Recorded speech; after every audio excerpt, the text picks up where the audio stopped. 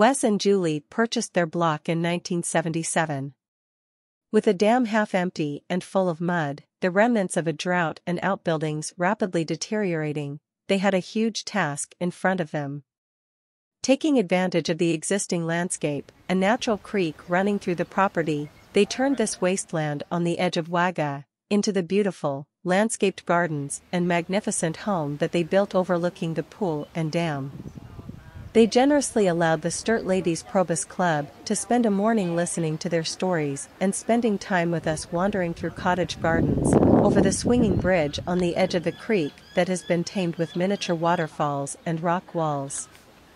The magnificent trees that they have planted are now sheltering the property, and it was a joy to experience the quaint tool shed lined with newspaper clippings and hand tools from yesteryear. Wes also proudly showed us his workshop with vintage memorabilia, including wooden snow skis, wooden golf sticks, an old typewriter and hand-made garden motorized carts he has crafted from junk.